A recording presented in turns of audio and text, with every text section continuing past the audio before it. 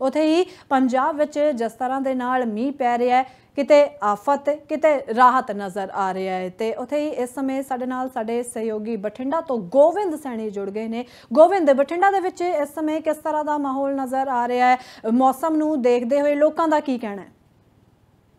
3 1 2 3 1 2 3 1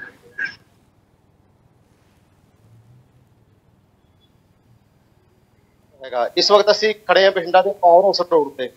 ਤੁਸੀਂ ਦੇਖ ਸਕਦੇ ਹੋ ਤਸਵੀਰਾਂ ਦੇ ਵਿੱਚ ਹੈਗਾ ਕਿੱਥੇ ਵੀ ਤੁਹਾਨੂੰ ਕੋਈ ਵੀ ਵਿਅਕਤੀ ਜਾਂ ਕੋਈ ਵਾਹਨ ਦਿਖਾਈ ਨਹੀਂ ਦੇ ਰਿਹਾ, ਸਾਰਾ ਪਾਣੀ ਭਰਿਆ ਪਿਆ ਹੈਗਾ। ਦੂਰ ਦੂਰ ਤੱਕ ਪਾਣੀ ਹੀ ਪਾਣੀ ਨਜ਼ਰ ਆ ਰਿਹਾ ਤੁਹਾਨੂੰ ਤਸਵੀਰਾਂ ਦਿਖਾ ਦਈਏ ਇਸ ਤਰ੍ਹਾਂ ਦੇਖੋ ਕਿਸ ਤਰ੍ਹਾਂ ਲੱਪਾ ਲੱਪ ਜਿਹੜਾ ਪਾਣੀ ਜਿਹੜਾ ਹੈਗਾ, ਸਾਰੇ ਪਾਸੇ ਸਾਨੂੰ ਪਾਣੀ ਹੀ ਪਾਣੀ ਨਜ਼ਰ ਆ ਰਿਹਾ ਹੈ। ਆ ਤੁਸੀਂ ਦੇਖ ਸਕਦੇ ਹੋ ਤਸਵੀਰਾਂ ਦੇ ਵਿੱਚ ਦੂਰ ਦੂਰ ਤੱਕ 5 ਤੋਂ 4-4 ਫੁੱਟ ਜਿਹੜਾ ਪਾਣੀ ਜਿਹੜਾ ਹੈਗਾ ਭਰ ਚੁੱਕਿਆ ਹੈਗਾ। ਤੇ ਜਿਹੜਾ ਹੈਗਾ ਬਰਸਾਤ ਜਿਹੜੀ ਹੈਗੀ ਹੈ ਕਹਿਰ ਬਣ ਕੇ ਬਠਿੰਡੇ ਵਿੱਚ ਆਈ ਹੈਗੀ ਹੈ ਹਾਲਾਂਕਿ ਕਈ ਦਿਨਾਂ ਤੋਂ ਬਾਅਦ ਜਿਹੜੀ ਹੈਗੀ ਹੈ ਤੇਜ਼ ਹੋਈ ਹੈ। ਤੋਂ ਪਹਿਲਾਂ ਬਰਸਾਤ ਬਠਿੰਡੇ ਵਿੱਚ ਸਾਨੂੰ ਵੇਖਣ ਨੂੰ ਨਹੀਂ ਮਿਲੀ ਸੀ, ਕਿਉਂਕਿ ਲਗਾਤਾਰ ਜਿਹੜੇ ਹੈਗੇ ਆ, ਉਮਸ ਭਰੀ ਗਰਮੀ ਪੈਰਿਸ ਰਹੀ ਤੇ ਲੋਕ ਜਿਹੜੇ ਹੈਗੇ ਆ, ਕਾਫੀ ਜ਼ਿਆਦਾ ਗਰਮੀ ਤੋਂ ਪਰੇਸ਼ਾਨ ਹੋ ਰਹੇ ਸੀ। ਪਰੰਤੂ ਹੁਣ ਅੱਜ ਇੱਕਦਮ ਤੇਜ਼ ਬਾਰਿਸ਼ ਨੇ।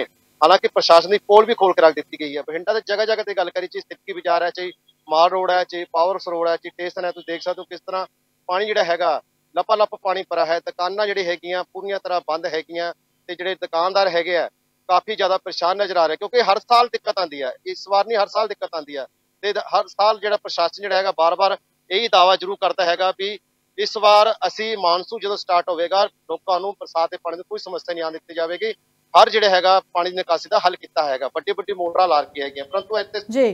ਕੁਝ ਵੀ ਜਿਹੜਾ ਹੈਗਾ ਉਹ ਵਿਖਾਈ ਨਹੀਂ ਦੇ ਰਿਹਾ ਹੈਗਾ ਨਾ ਸਾਨੂੰ ਮੋਟਰਾਂ ਵਿਖਾਈ ਦੇ ਰਹੀਆਂ ਤੇ ਨਾ ਹੀ ਪ੍ਰਸ਼ਾਸਨ ਦੇ ਪ੍ਰਬੰਧ ਜਿਹੜੇ ਹੈਗੇ ਆ, ਉਹ ਦਿਖਾਈ ਦੇ ਰਹੇ ਹੈਗੇ ਨੇ। ਤੁਸੀਂ ਦੇਖੋ ਤੁਸੀਂ ਉਹਦੇ ਵਿੱਚ ਕਿਸ ਤਰ੍ਹਾਂ ਜਿਹੜਾ ਪਾਣੀ ਜਿਹੜਾ ਹੈਗਾ ਲਗਾਤਾਰ ਭਰਿਆ ਹੋਇਆ ਤੇ ਮੀਂਹ ਬਰਸਾਤ ਜਿਹੜੇ ਹੈਗੇ ਆ ਹਲੇ ਵੀ ਹੋ ਰਹੀ ਹੈਗੀ ਆ। ਦੂਰ ਤੁਸੀਂ ਨਿਗਾਹ ਮਾਰੋਗੇ ਦੂਰ ਤੱਕ ਜਿਹੜਾ ਹੈਗਾ ਤੁਹਾਨੂੰ ਪਾਣੀ ਹੀ ਪਾਣੀ ਨਜ਼ਰ ਆ ਰਿਹਾ ਹੈਗਾ। ਪਾਣੀ ਲਗਾਤਾਰ ਵੱਧ ਰਿਹਾ ਹੈਗਾ ਘਟ ਨਹੀਂ ਰਿਹਾ ਹੈਗਾ। ਜਿਸ ਤਰ੍ਹਾਂ ਬਰਸਾਤ ਹੋ ਗਿਆ ਹੈ ਪਾਣੀ ਵੱਧ ਰਿਹਾ ਹੈਗਾ ਤੇ ਹੋ ਸਕਦਾ ਹੈ ਇਹਨੂੰ ਦੋ ਤਿੰਨ ਦਿਨ ਲੱਗਣ ਪਾਣੀ ਦੀ ਨਿਕਾਸੀ ਨੂੰ ਬਾਹਰ ਕੱਢਣ ਵਾਸਤੇ। ਪਰ ਜਿਹੜੇ ਲੋਕ ਜਿਹੜੇ ਹੈਗੇ ਆ ਦੁਕਾਨ ਜਾ ਜਿਹੜੇ ਹੈਗੇ ਆ ਉਹ ਕਾਫੀ ਜ਼ਿਆਦਾ ਪਰੇਸ਼ਾਨ ਨਜ਼ਰ ਆ ਰਹੇ ਹੈਗੇ ਨੇ। ਅਸਲ ਨੂੰ ਜ਼ਿਆਦਾ ਖਤਰ ਨਜ਼ਰ ਆ ਰਹੇ ਹੈਗੇ ਅਗੇ ਜੇ ਕੋਈ ਤਰਫੋਂ ਹਾਲਾਂਕਿ ਮੁਲਾਜ਼ਮਾਂ ਦੇ ਟੁੱਕੇ ਕੀ ਹੈ ਪਾਣੀ ਨਿਕਾਸੀ ਦੇ ਮੋਟਰਾਂ ਚਲਾ ਰੱਖੀਆਂ ਆਪਣੇ ਕੰਮ ਵੀ ਕਰ ਰਹੇ ਹੈਗੇ ਪਰੰਤੂ ਪਾਣੀ ਜ਼ਿਆਦਾ ਆਉਣ ਕਾਰਨ ਉਹਨਾਂ ਦੇ ਹੱਥ ਖੜੇ ਹੋ ਚੁੱਕੇ ਹੈਗੇ ਨੇ। ਤੁਸੀਂ ਦੇਖ ਸਕਦੇ ਹੋ ਤਸਵੀਰਾਂ ਦੇ ਵਿੱਚ।